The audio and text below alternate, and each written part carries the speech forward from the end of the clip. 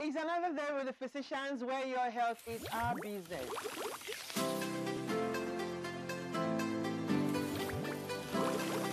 the growth spurt the end. So you are not going to take some drastic measures. But a 10-year-old tummy, pressure is high, but also to know that not only when your pressure is high that you have your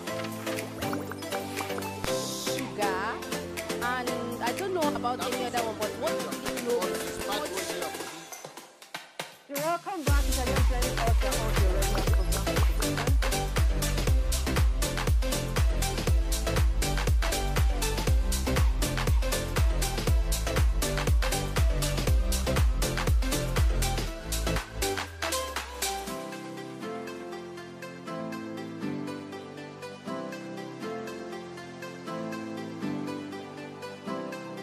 It's important to know that cancers, when caught early, are very, very amenable to treatment.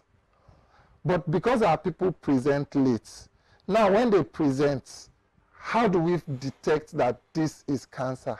It starts with the routine medical training of history taking.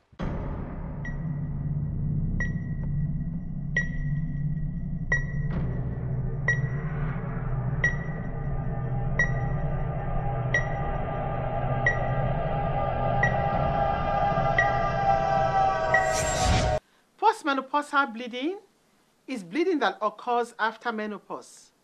Menopause is a stage in a woman's life around age 51 when reproductive hormones drop and her monthly menstrual periods stop.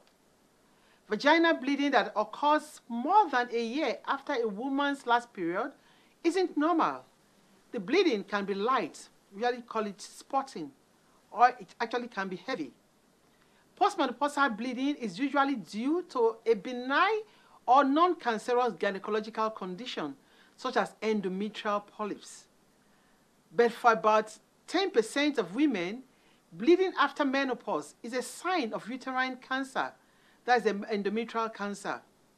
Uterine cancer is the most common type of reproductive cancer, more common than ovarian or cervical cancers.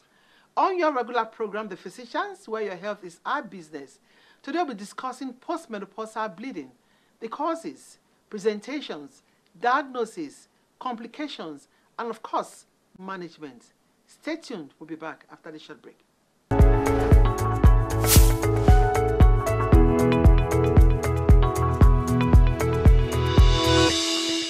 It's another day with the physicians where your health is our business. Today we'll be discussing postmenopausal bleeding. It usually affects the women, of course, it's postmenopausal. My name is Dr. Martina Agbere, your regular host on this program. And of course, I'm not alone. I'm with my regular co-host, Dr.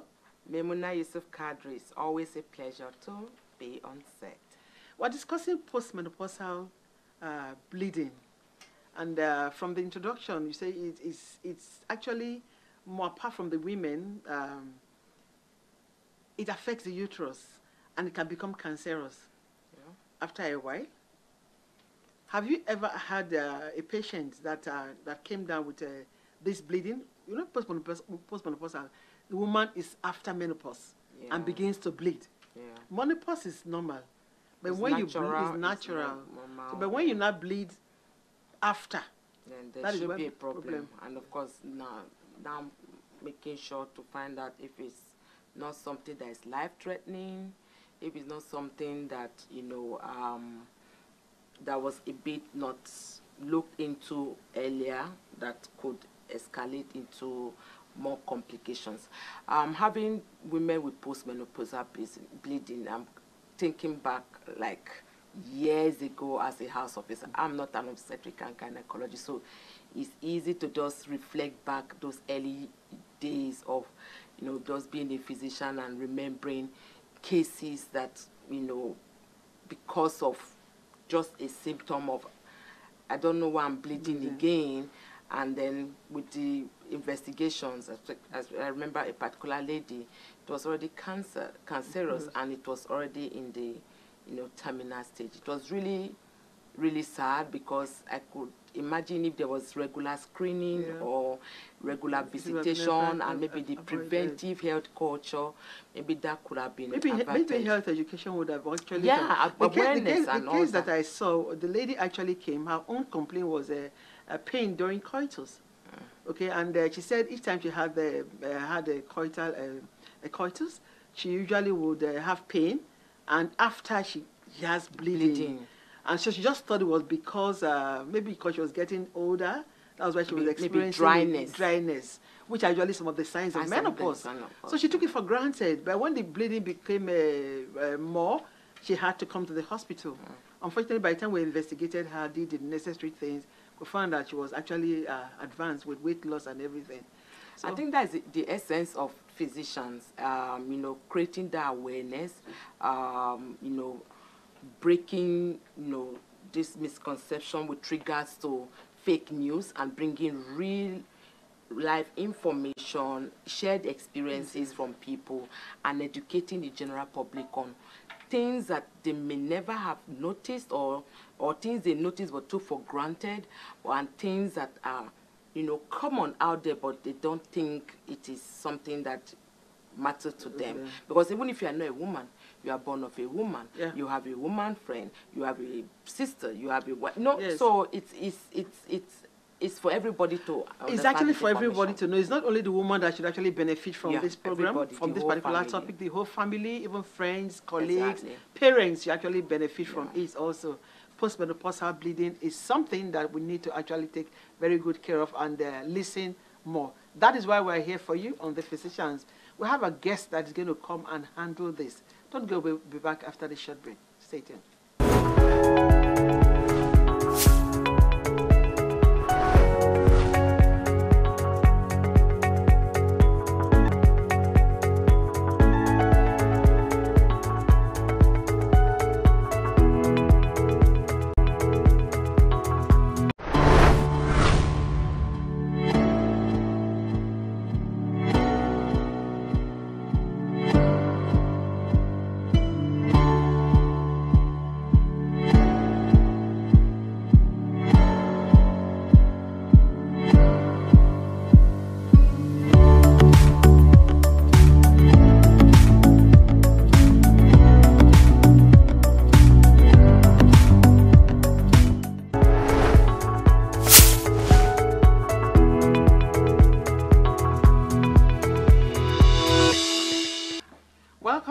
Have just joined us here on your regular program, The Physicians, where your health is our business.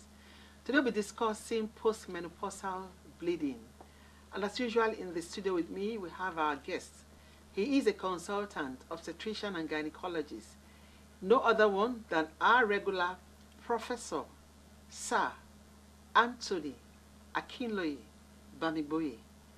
He is the CEO, MD CEO, Louis Med Hospital here in Lekki, Lagos. Prof, you're welcome to our program. Thank you for having me. You're welcome, sir. Thank you, Madam You look, Producer you, Doctor. you're looking really nice. Thank you so much. Okay, so we're talking, going to be talking about postmenopausal bleeding.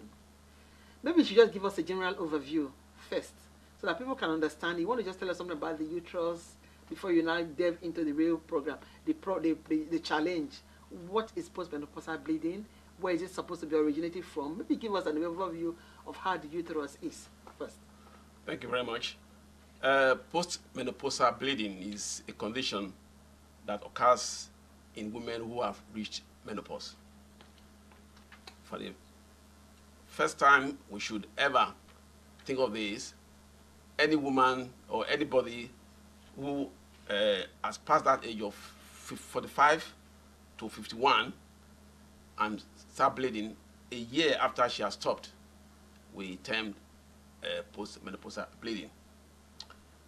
However,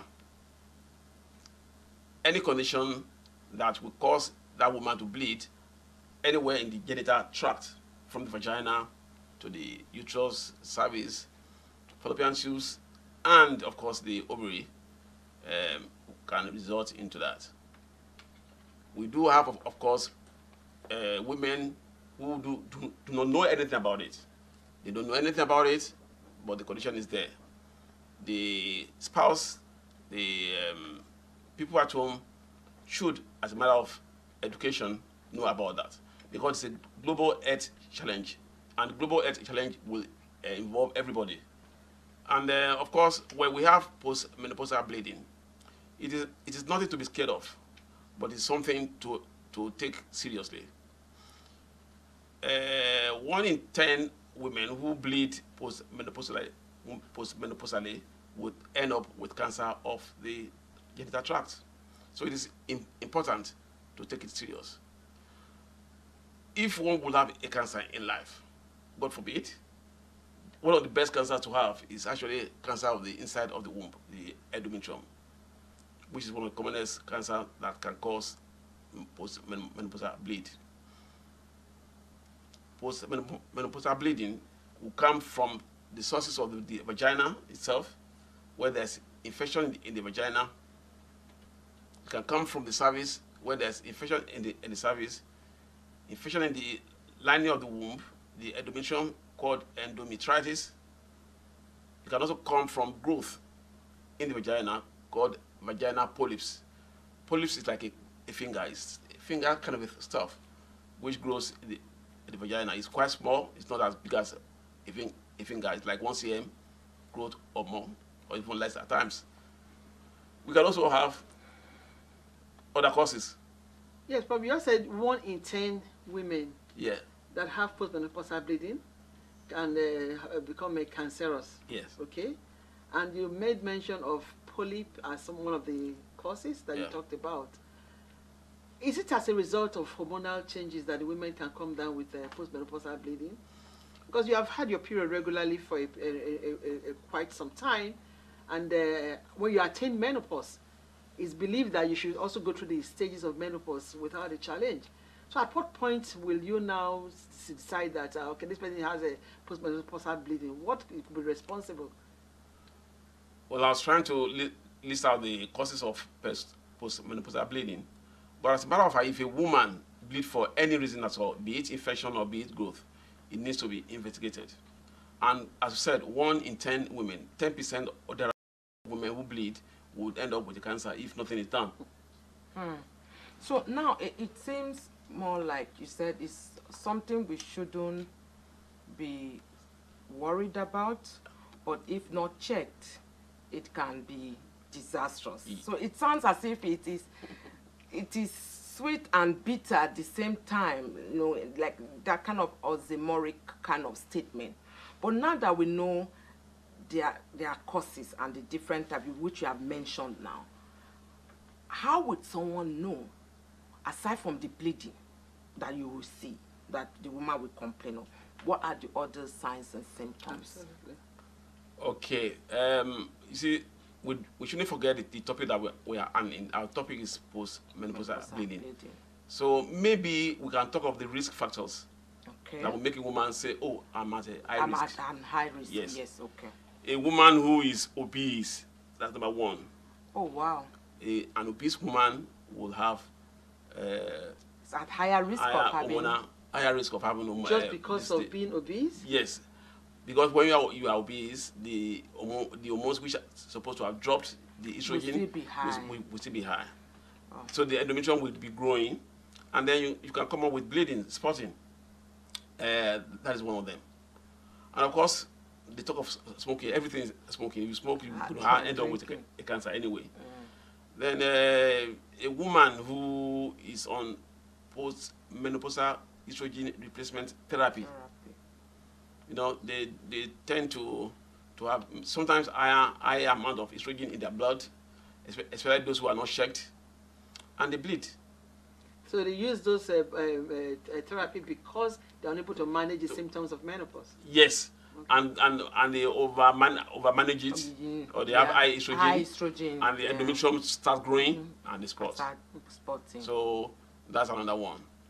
Um, of, of course, a woman who doesn't do exercise will definitely have like high a weight. sedentary lifestyle. estrogen lifestyle. Yes, Okay. they definitely will have weight. So you have mentioned obesity as a risk factor, Yeah, and uh, somebody who doesn't exercise regularly as Yeah. another risk factor. yeah. And of course, hormonal challenges as also risk factors. When we'll come back from our break, we'll talk more about the causes Okay? We'll be back after the shopping.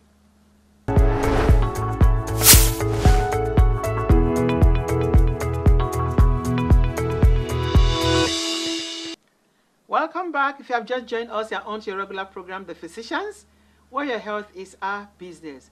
We'll be discussing postmenopausal bleeding in women. And the prof here, Professor Sir Anthony Akinloye Bamigboye, has been doing justice to this topic. He's told us a whole lot about the risk factors, and he did mention obesity as a risk factor, and of course, lack of exercise as another risk factor. So, Prof, you just said those things before we went on break. What are the other risk factors that can be responsible or accountable for postmenopausal bleeding? Um, there are not a lot of risk factors, really. Um, but if you know the principle of estrogen, then anything that will raise your estrogen level after menopause will be a risk factor. So um, those women who are exposed to estrogen from whatever source would definitely have a, a higher risk factor. So at this point, will you say somebody who has had like a um, partial or total hysterectomy that wasn't that did you know maybe the person is in their thirties you know, because of some issues or whatever had you know the uterus everything removed and now maybe kind of going through hormonal replacement therapy is that kind of a case or an individual at risk of postmenopausal bleeding Um, you know, past history of hysterectomy if you if you ever had hysterectomy, the the causes of uh, postmenopausal bleeding will be reduced Okay. uh, because we Estrogen. you have a estrogen Estrogen. factor acting on the endometrium, but in this case we have estrogen factor acting on the uh, vagina um, and the vault of the vagina. Okay, and uh, when you have the uh, vagina still intact and you have atrophy of the vagina, now low estrogen level, just see the way Yeah. it goes. Yeah. Low Estrogen will make you to have va- va- vaginal atrophy, and atrophy of the vagina will stimulate you to bleed. True. True. So because you can easily get infected. infected Okay. Whereas again, if you have too much estrogen, you're going to ble- bleed. So either way, you, you so bleed. everything should be in moderation Exactly. Okay. So you talked about the causes, you have to talk about the risk factors, even uh, the estrogen being a major uh, uh, challenge there. We've heard all these ones. I'm sure the viewers out there want to ask. So how can this be managed? But before the management, how do you do, make a diagnosis apart from just the bleeding that you the patient will come out with? Are there other investigations that need to be done? Thank you very much, uh, doctor, or doctors, I should say. Yeah. Um, when a woman bleeds and comes to my cl- clinic, for example, to me, it's a serious thing. As a trained gynecology oncologist, you know, because I did uh, a lot of oncology work, a woman who bleeds, I take it serious. Serious. And uh, for the benefit of those at home, they must note that um, if you bleed and you complain to a doctor, the doctor must see you within two weeks. Anything after two weeks, your health is at risk. So, uh, for example, the um, the medical system, the health insurance system, whereby you book for a patient and wait for two months, One month, yeah. that does not happen in endometrial bleed or vaginal bleed, uh, not at all. So even in the UK, with the NHI, NHIS, where people are used to booking for eight months, when you have bleeding from the vagina, they saying you're, you're seeing the that's doctors. an emergency So it's because it's a mini emergency. So what happens when they come? Of course, we examine the vagina. We use a speculum, that's a valve that we put in to see the mouth of the womb, the, the cervix, to see whether we can see anything like a polyps, or vaginal atrophy, or cervical uh, polyps, or atrophy of the cervix as well. So when we see that, then we can know that this is caused by so so and so. So, so there's no need, need to probably panic. Then again, we if we are still not sure, right into the endometrium, the lining of the inside of the womb. There we put something we, we, we call hysteroscopy. Office it's a, in your office. When you do that, um, we take sample, we take a biopsy of the endometrium, we send it to the lab, laboratory to to check whether there is anything any, anything that is inimical, you know, to the womb. womb. So of course we will have done a pap smear first to, to see whether there's uh, any lesion of the, of the cervix. So it is those array of tests that we, we, we do before we make a, a diagnosis. We need blood tests. We need to, to do things like um, uh, fasting blood sugar or random sugar Okay. to ensure that there's no diabetes, yeah, insulin level and so on and so and so forth. And um, a diagnosis of endometrial biopsy, I mean of endometrial cancer or aplasia or disease is made based on the biopsy that we have done. Okay. And the treatment, you know, Uh, when, when we manage uh, such cases, we actually treat based on our finding when we examine.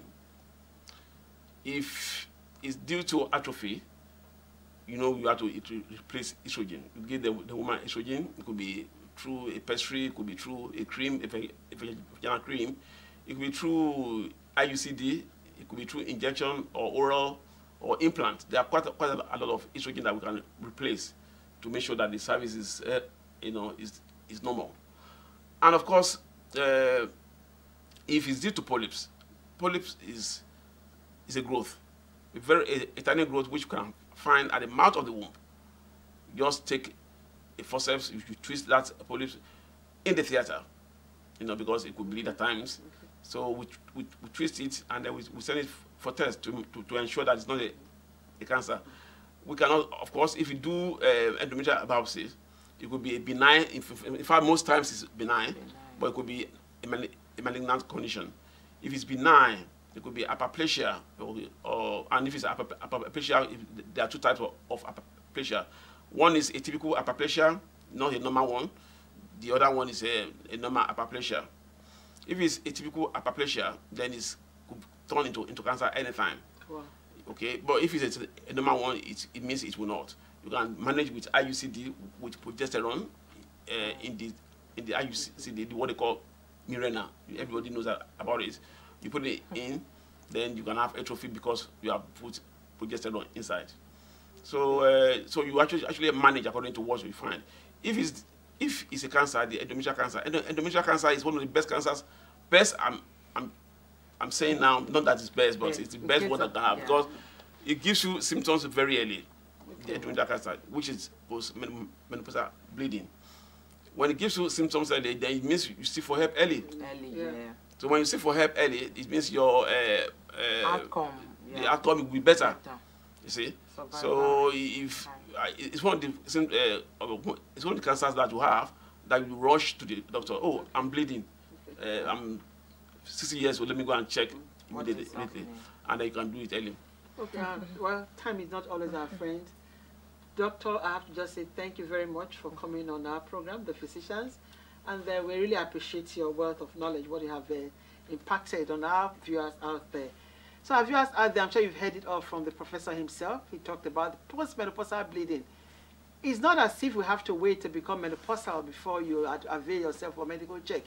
Bleeding on its own is very dangerous. So at any time when you notice that you are spotting or you are bleeding, just seek help, be it premenopausal, menopausal, or postmenopausal, so that it can be nipped in the bud.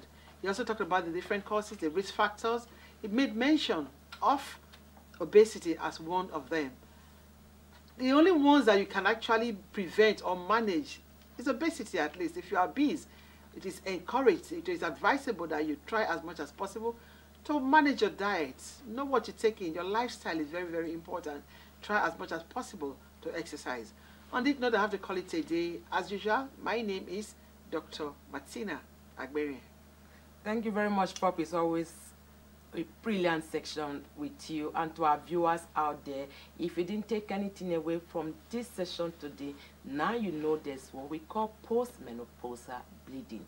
And one in 10 women do experience this. Obesity, lack of exercise are some of the risk factors that you can experience. But what is the good news about it? It makes you seek help on time because bleeding is something that nobody wants to encounter. And so usually the outcome is always very good. We, the physicians, we are always very grateful for your time you take out to watch us. So please do share news with friends, family, well wishes. To follow us on all our various social media platforms YouTube, Instagram, Twitter, Facebook, and of course our website. My name remains Dr. Memona Yusuf Kadri. Until next time, stay blessed.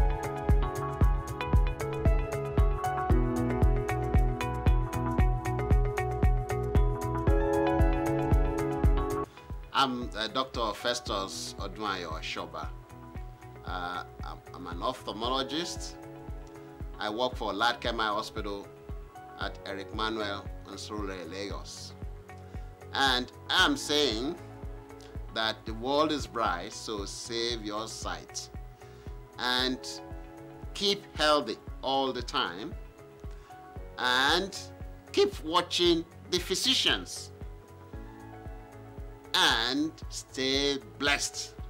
See you again sometime.